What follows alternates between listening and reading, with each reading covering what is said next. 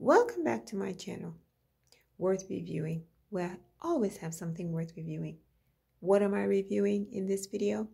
Well, it's a woman's t-shirt. I bought it on eBay. It's by Port and Company.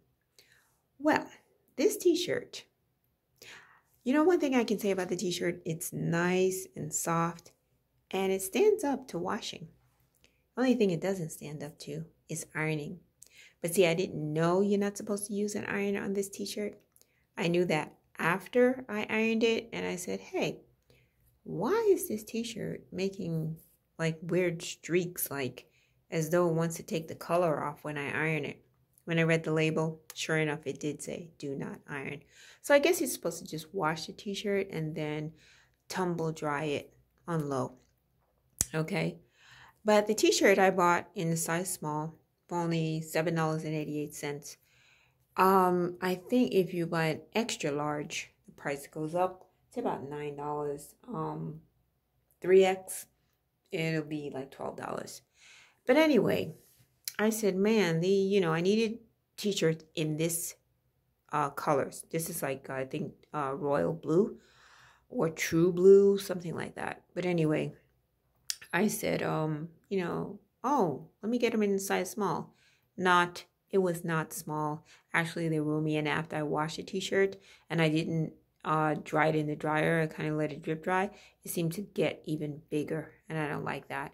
It is a full length t-shirt, so like if you have um, leggings or I don't know, jogging tights or something, it's good for that because it covers, you know, um, it covers a good bit of your you know, rear and comes by your thighs. So if you want something to exercise in, that might be good. But I thought it was going to be a fitted, um, more fitted t-shirt. And they don't have extra size, extra small. So that's not good.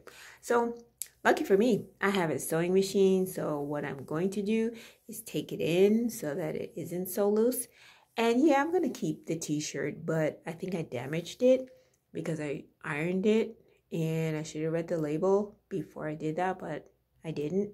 So now I'll keep them, um, you know, to wear around the house or uh, sleep in.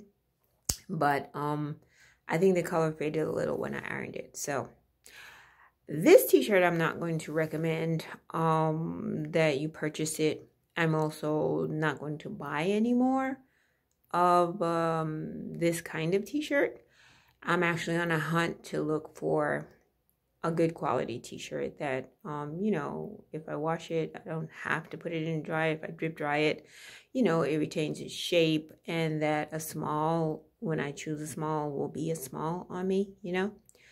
So anyway that's my review for this t-shirt. I will leave a description of the t-shirt in um you know in my description and you can read it. And if you want to go on eBay and find it, you can find it, you know, and read more about it.